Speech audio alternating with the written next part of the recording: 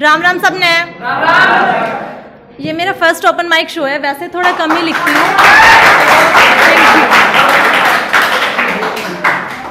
जरा ध्यान से सुनिएगा। थोड़ा कम लिखती हूँ, मगर एहसास लिखती हूँ। सिर्फ़ अल्फाज नहीं, मैं जज्बात लिखती हूँ। फ़र्क बस नज़रिए का है, तुम सबके हिसाब से शायद मैं कविताएँ और नज्म लिखती हूँ। सच्चाई तो ये है, मैं बस हालात लिखती हूँ।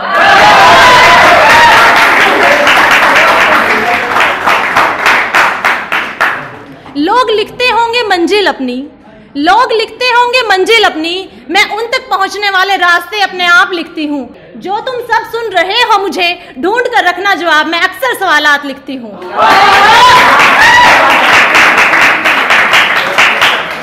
शुक्रिया। एक सुनिएगा कि हम हमेशा दूसरों को खुश करने में अक्सर खुद की खुशी खो देते हैं। हर बार हर बार किसी दूसरे की खुशी के लिए खुद को नाराज़ करना ज़रूरी है क्या? हर बार किसी दूसरे की खुशी के लिए खुद को नाराज़ करना ज़रूरी है क्या? अरे चलो मान लिया, मैंने गुस्से में कह भी दिया तुम्हें कुछ। चलो मान लिया, मैंने गुस्से में कुछ कह भी दिया तुम्हें, मगर तुम्हारा हर बार रूठ जाना ज़रूरी है क्या?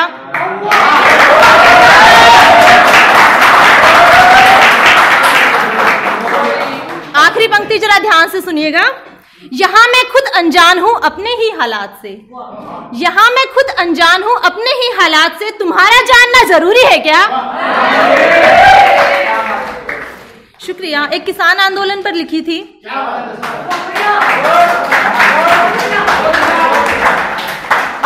ये जो लोग हमें हिंदू, मुसलमान, जात धर्म के नाम पर तोड़ने की कोशिश करते हैं, उन्हीं के ऊपर लिखी थी। ना कोई हिंदू, ना कोई मुसलमान आया है। इस बार ना कोई हिंदू, ना कोई मुसलमान आया है। देखो है मंत्री नींद से जागकर, तुम्हारी सड़कों पर इस बार इनकलाब आया है।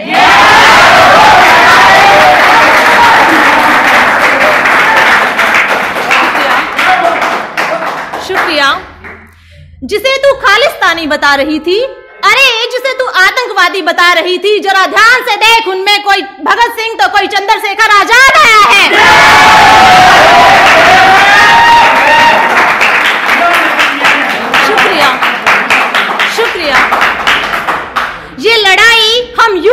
छोड़ेंगे।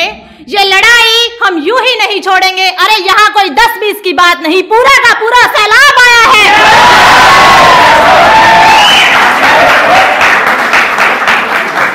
जहाँ ना कोई हिंदू, ना कोई मुसलमान आया है। देखो है मंत्री नींद से जागकर तुम्हारी सड़कों पर इस बार इनकलाब आया है। और ध्यान से देखना, ध्यान से देखना, यहाँ कोई दस बीस की बात नहीं, पूरा का पूरा सैलाब आया